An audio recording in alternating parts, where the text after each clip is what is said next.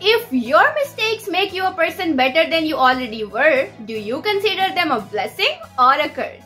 Uh, it's difficult for most of us to publicly admit to our mistakes, but mistakes, whether your own or those of others, can make you learn a lot.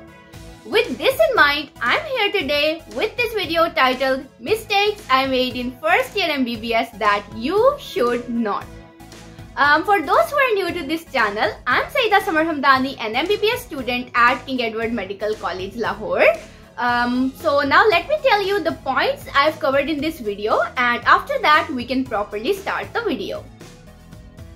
Number 1. Not solving past papers all year long. So what most of the students do and I also did in first year is that I just studied everything and I thought that I would uh, solve the past papers at the end. And at the end we have so little time that we just like skim through the past papers. While if you uh, make this habit of uh, seeing the past papers before studying a topic, uh, you can pay special attention to the topics which have appeared in the past paper. So instead of uh, studying a topic first, then seeing the past papers, see the past papers first, mark the topics which have appeared in the past paper as important and uh, focus more on them.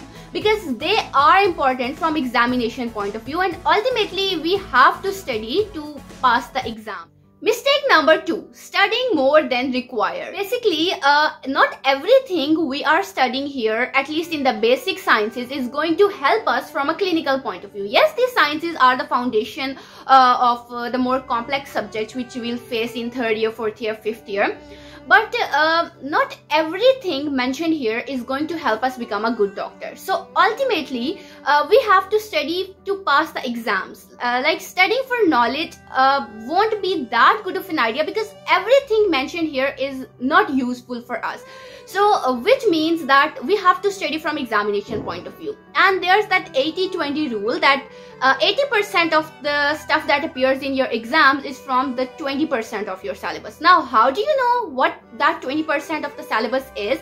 So uh, as we talked in the first uh, uh, point that you have to solve the past papers first.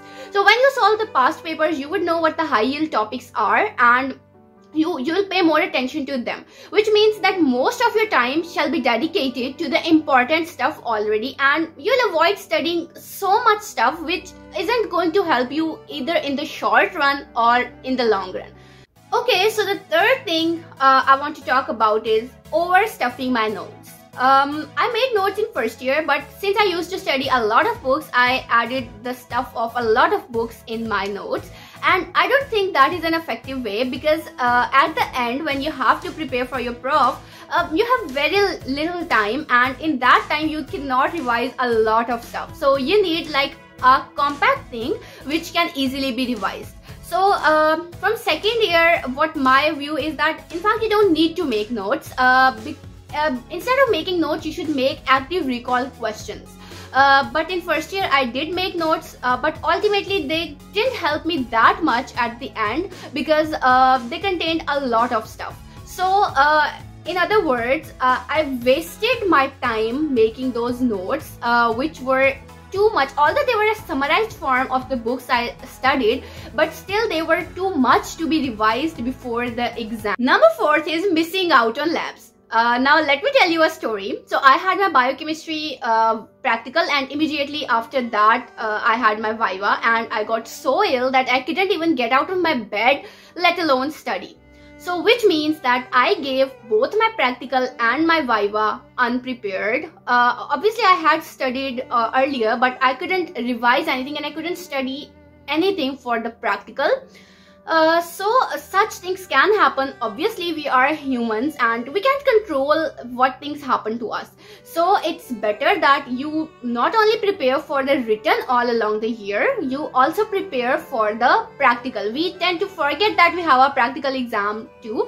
Uh, so uh, i'm also a person who doesn't enjoy doing practicals that much. Um, it, I know it's not good, but obviously all of us have our inclinations. Uh, but uh, you should be focusing on the practicals. And uh, I've told myself at the start of the second year that I have to focus on practicals uh, from the beginning of the year. Uh, so that if such a thing happens like as it happened to me in the biochemistry practical you are already prepared and you don't have to face uh, much trouble now moving towards the bonus advice I talked about in the beginning of the video. Uh, since doing MBBS is not just about being a bookworm and studying and studying and studying, no doubt having good knowledge is important for being a good doctor but is just having good knowledge enough? No, right? So the first piece of advice is to manage everything together. Don't just keep studying. There's a lot more to life than just studying. You need to make good memories throughout uh, this MBBS life. Uh, along with becoming a good doctor with a lot of knowledge and that leads us to the second point that is focus on personal growth uh, since a good doctor is a good human first, you need to be sympathetic, empathetic, you need to have good communication skills and of course good business skills too if you want to establish your own hospital, etc. And all these are the things which you need to work on. Uh, so uh, realize what are the points that need to be worked on and uh, then work on them you may read books, articles, watch videos, or learn from the environment. In short, you just need to give yourself the time. Uh, so uh, do study well, but uh, give yourself the time to grow too. And the third point is to study smart and not hard.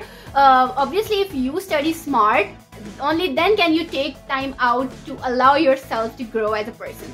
Uh, so uh, use active recall, spaced repetition, etc. Uh, on which you can watch the videos of Ali Abdaal because uh, I find them helpful. If you're a first year MBBS student watching this video till here, I want to tell you that you're going to learn a lot all through this year. Uh, right now it might seem that it's so difficult uh, and you won't be able to do this. It seemed like that to all of us, being honest. Uh, but ultimately, all of us did that and so shall you.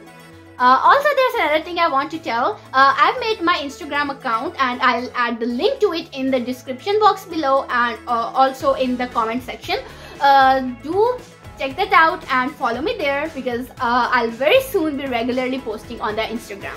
Uh, and now it's time to conclude the video. So I hope you found at least some value out of it. If you did, don't forget to like the video and also drop your precious feedback in the comments below. Hope to see you all in the next video. Till then, goodbye, take care and yes, keep smiling.